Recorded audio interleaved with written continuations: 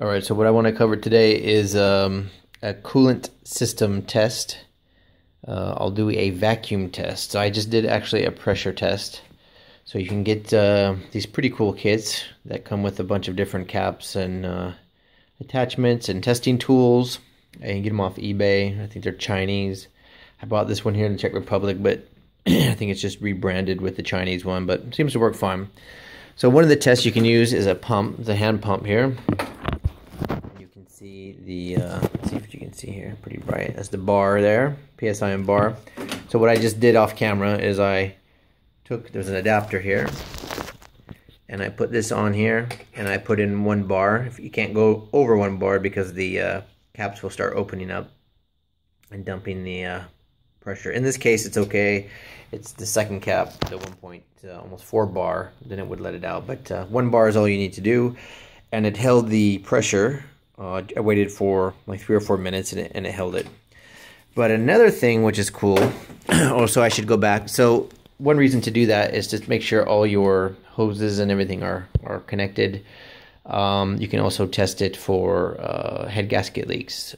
Uh, so what I'm doing is because I changed out the thermostat. I had no thermostat uh, running distilled water.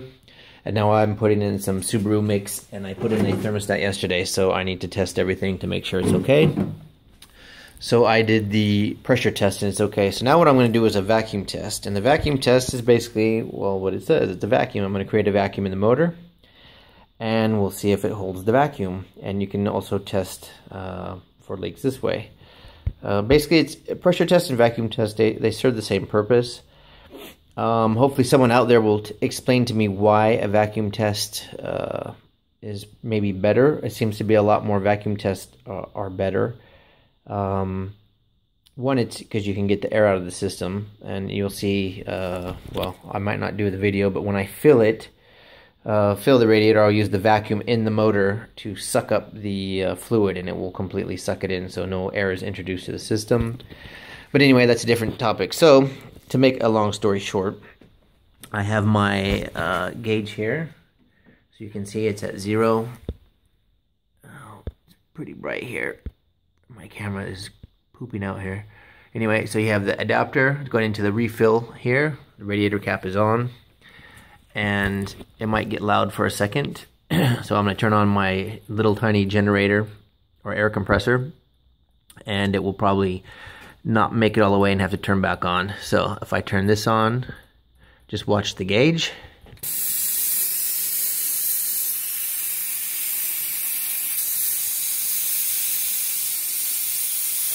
Right to the end of the green here.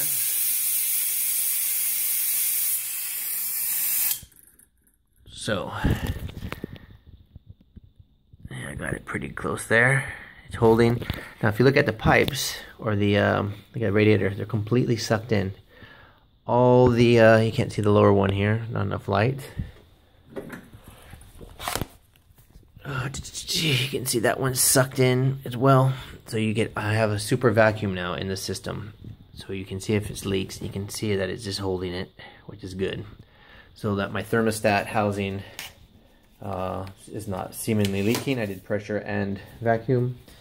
And basically you just wait here for like three or four minutes, see if anything changes.